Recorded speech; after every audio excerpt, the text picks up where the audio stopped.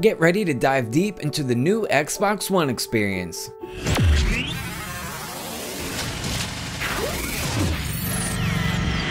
Hey guys, Sikora here for Gizmo. Today we're going to be showing you guys the brand new Xbox One experience. This is a huge update that features backwards compatibility and a whole new vertical scrolling design. Jumping down to a whole new section is as simple as tapping the trigger button. The My Stuff section is a perfect place for all your pinned apps. So we're going to take you through each section on the new update and go through every page and show you what's new. Moving over to the community section, this is basically your feed of all your friends' posts, videos, achievements, all that good stuff you can see that your friends are doing and you can interact with them and like them, comment them, all that good stuff. This is also where you can easily share something right from your Xbox.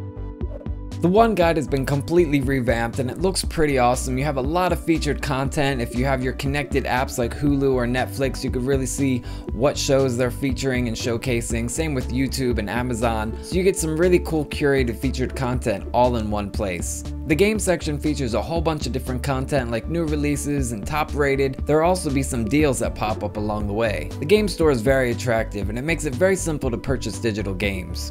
The game page has been slightly tweaked instead of going left and right, you're going up and down to browse the content within the game. Moving over to your apps, there's a bunch of different content you could download to your Xbox One. It's definitely a must if you want your Hulu and Netflix on.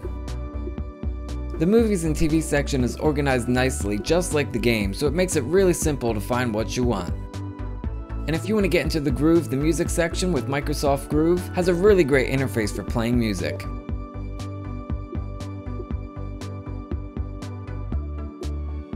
You'll be able to have a game and some apps run in the background as you play. And you can see here I have Star Wars running right now and I'll be able to open up, uh, let's say Netflix and pick up right where we left off.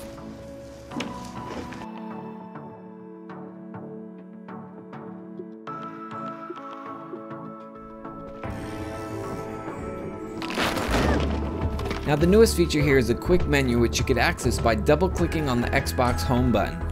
Here you'll be able to start a party, see all your friends online, invite them, join, and never have to leave your game.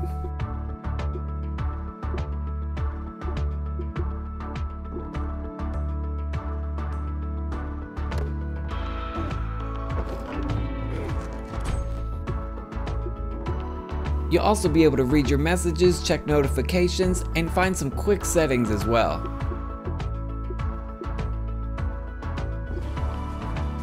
Just like before, you could use the snap and unsnap feature on the Xbox One, which is really great for certain apps.